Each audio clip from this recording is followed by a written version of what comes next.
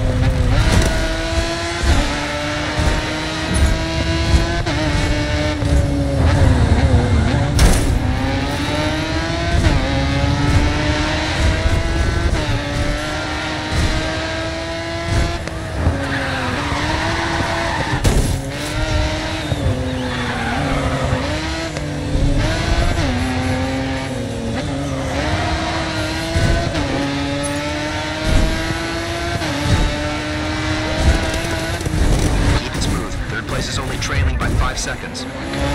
Okay, Paul, that's put you in the lead.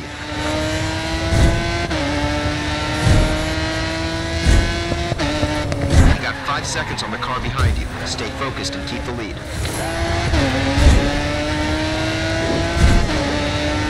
That's a great start. Hold this position and the race is yours.